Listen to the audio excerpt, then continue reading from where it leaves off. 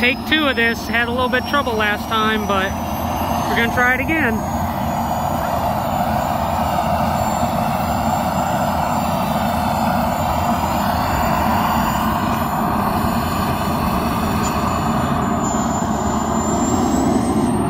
And I was corrected. He said it was about 17 grand, but still.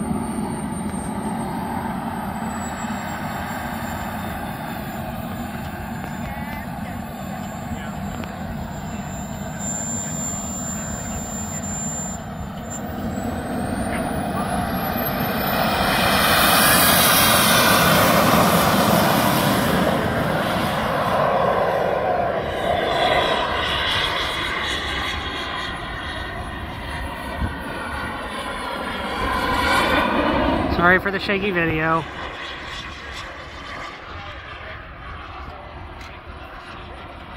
That is wicked cool.